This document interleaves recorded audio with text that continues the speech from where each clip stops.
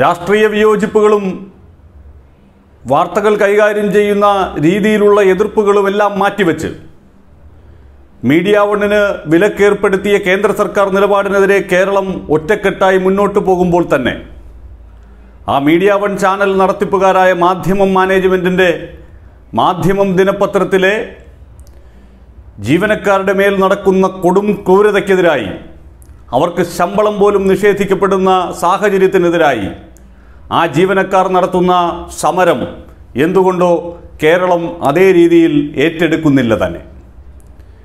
ഇരുപത് കോടിയോളം രൂപ കഴിഞ്ഞ രണ്ട് വർഷക്കാലമായി ഈ ജീവനക്കാരിൽ നിന്ന് പലപ്പോഴായി മാനേജ്മെന്റ് പിടിച്ചു വച്ചിരിക്കുകയാണത്രേ.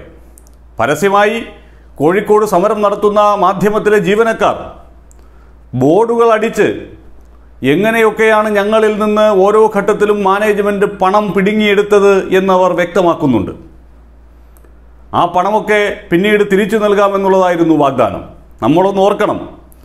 കേരളത്തിൽ സാലറി ചലഞ്ച് നടക്കുന്ന അവസരത്തിൽ ഓ സാലറി ചലഞ്ചോ? ജീവനക്കാരിൽ നിന്ന് പൈസ പിടിക്കുന്നോ? എന്നൊക്കെ ചോദിച്ച് സർക്കാരിനെതിരെ യുദ്ധപ്രഖ്യാപനം നടത്തിയ മാധ്യമങ്ങളുടെ കൂട്ടത്തിൽ ഈ മാധ്യമവും ഉണ്ടായിരുന്നു.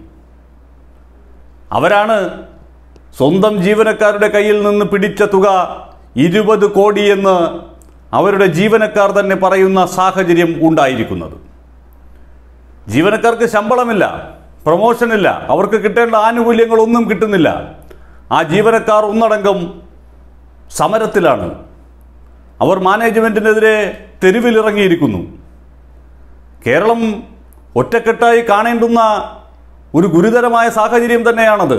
നമ്മൾ ഈ നാടിനെ നന്നാക്കുന്നതിന് വേണ്ടി മാധ്യമങ്ങളിലൂടെയൊക്കെ നാഴികയ്ക്ക് നാൽപ്പത് വട്ടം സിംഹഗർജനങ്ങളുമായി ഇറങ്ങുമ്പോൾ ആ പത്രമൊന്ന് പുറത്തിറങ്ങുന്നതിന് വേണ്ടി കഷ്ടപ്പെട്ടുകൊണ്ടേയിരിക്കുന്ന അവിടുത്തെ തൊഴിലാളികളിൽ നിന്ന് പല ഘട്ടങ്ങളിലായി പിടിച്ചുവെച്ച തുക അവർക്ക് നിഷേധിക്കപ്പെട്ട പ്രൊമോഷനുകൾ അവർക്ക് നിഷേധിക്കപ്പെട്ട ഇൻക്രിമെന്റുകൾ അതിന്റെയൊക്കെ കണക്കാ തൊഴിലാളികൾ വിളിച്ചു പറയുമ്പോൾ മീഡിയ വണ്ണിന് നൽകിയിരിക്കുന്ന ഐക്യദാർഢ്യം പോലെ തന്നെ മാധ്യമത്തിലെ ശമ്പളം കിട്ടാത്ത തൊഴിലാളികളുടെ സമരത്തിനും കേരളം ഐക്യദാർഢ്യം പ്രഖ്യാപിക്കേണ്ടതുണ്ട്. മറ്റെല്ലാ വിയോജിപ്പുകളും മാറ്റിവെച്ച തൊഴിലാളികളോടൊപ്പം നിൽക്കേണ്ടതുണ്ട്.